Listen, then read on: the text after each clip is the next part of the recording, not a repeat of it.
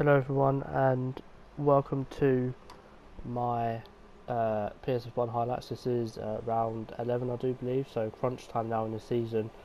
Um, Lego, uh, Louis did get pole, sorry, myself second and Lego third. But in, in, terms of the start, I mean, you can see we're actually running quite low wings. I do believe I was running 3-2 or 3-3, but it, it, was very low nonetheless. And you can see um, you actually get a very good run um, coming into turn one and I gave enough room because I obviously I saw cars there and Louis being one of them but um, you know this race as a whole for me uh, was very uh, was very frustrating and you'll see um, towards the end of the race what actually happened. Um, I'm pretty sure everyone watching this and everyone in PSF1 knows what happened and obviously knows that what happened got deemed as a racing incident which you know I can't you know scream and shout and go oh well why? You know because you know it's not going to get me anywhere so uh, I need to put my head down and um, focus on the last race, which is Malaysia. So uh, yeah. Uh, but anyway, lap one, still got the lead from Louis. Uh, again, just what I wanted to do really, get off the line, get a good start, be a little bit aggressive, and it's worked. And at this point, I wasn't complaining. You know, Lego was back in third, so I thought happy days. I knew Louis wanted to win this race, but yeah, is what it is. I can't really, you know, I can sit here and moan and groan all I want about what happened this race, but it's not going to get me nowhere. I need to forget about it and focus on Malaysia, where, you know, arguably I do need to win, and I'm going in for the win.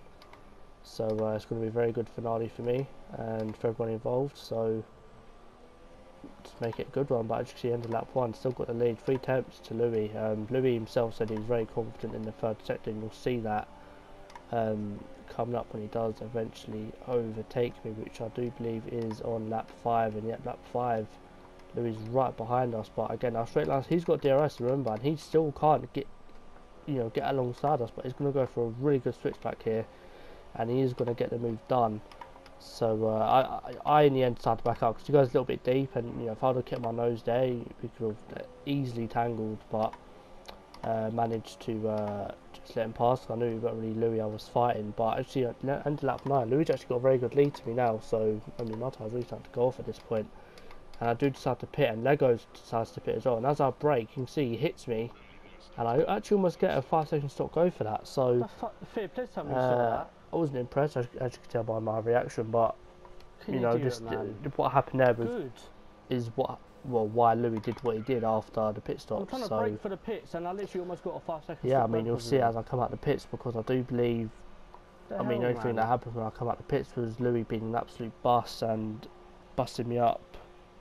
Um, to uh, to Lego behind and it does actually work but it's just the way he done it in my opinion which you know I didn't agree with but anyway, we're going to come out the pits ahead of Lego. Obviously, Lego needed a wing change, and at that point, he did ask Louis to uh, hold me up so he could catch back up. Which you know, fair play. I'm you know I'm down for team orders and that, but it's just the way he done it, in my opinion. It just wasn't wasn't safe in any way. But um, yeah, moving on, we're actually going to go skip to the end of the race, and it's actually going to be a live reaction again. So I'll see you after that.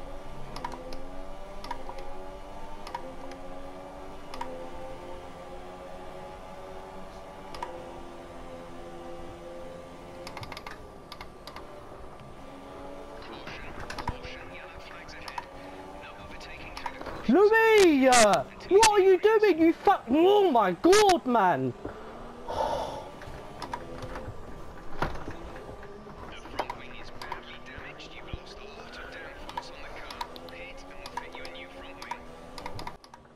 So uh, there you go guys, that's what happened. Um, as you can tell by my reaction, I wasn't impressed at all. Um, coming from Louis, I spent much better racing, so you know I can only expect that in the last round. None of none of them shenanigans happened. Uh, T-Bar did actually let us pass at the end, so uh, fair play to him. Uh, I did say thank you to him in the party um, several times because five point lead for Lego is definitely doable. Um, so uh, yeah, I mean it could have been a lot worse. Uh, Louis could have just could have just let Lego win, but um, Lego just I don't know why Lego didn't win. I, I asked him this, and he said that Louis wanted to win, so he gave him the win, which is you know, fair enough to a point. But you're fighting for a championship. You know, if you'd have won, then 13 points is a lot harder to come back from than five.